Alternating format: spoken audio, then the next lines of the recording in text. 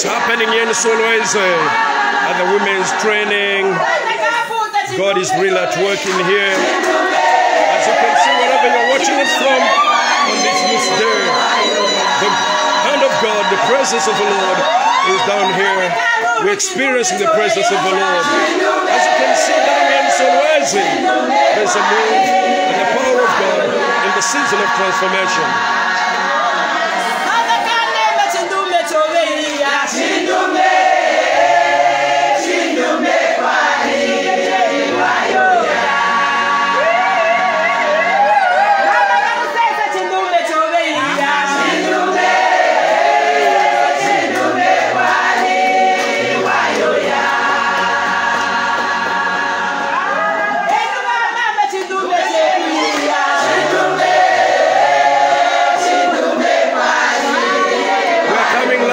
Live Solwezi. We're coming live.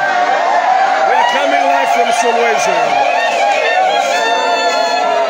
Thank you for watching. It was just a joke for you who are following.